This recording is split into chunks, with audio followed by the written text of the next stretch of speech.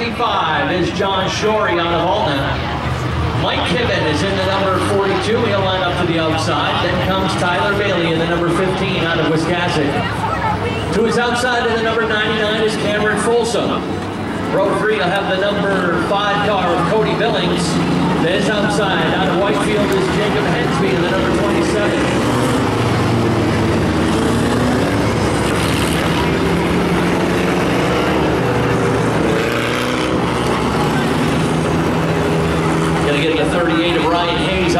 Spot. Then comes the number 98 of Cameron Knowles. He was your winner two weeks ago. He's a two-time winner this season and the defending four-cylinder pro champ.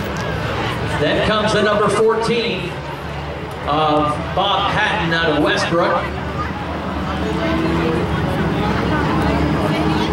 Jeff Prindle's in the number 24. Then comes Brooke Knowles in the 9X.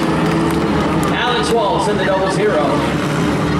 Then Dave Patton in the, fourth, in the uh, 12. Then comes the 54 of Cam Corbin. And the number four of Connor Winters will fill out the field here for the four-cylinder pros. Their biggest uh, lineup of cars this season.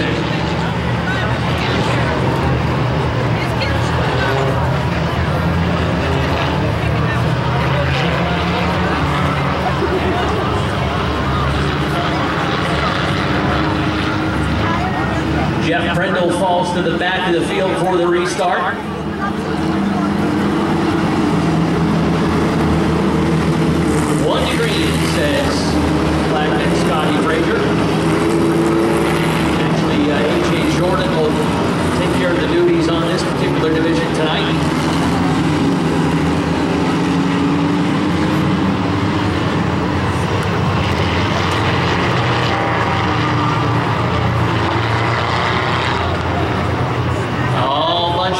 To go. Pace car takes the turn in. Shorey and Kibben get the clear from turn four, Tim.